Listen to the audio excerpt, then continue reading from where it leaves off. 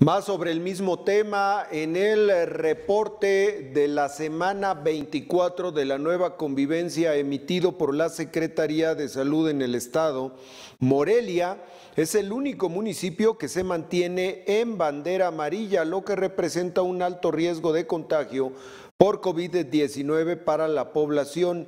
Morelia es el único municipio con bandera amarilla, amarilla, perdón, en donde sigue existiendo un alto riesgo de contagio por COVID-19.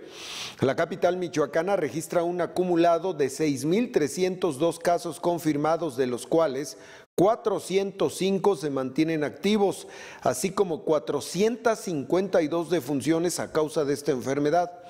Después de ser el municipio que llegó a ser catalogado con bandera roja por el alto índice de contagio para los ciudadanos, Lázaro Cárdenas pasó a bandera verde, que es riesgo intermedio. Sin embargo, es importante no bajar la guardia en la implementación de las medidas de contención.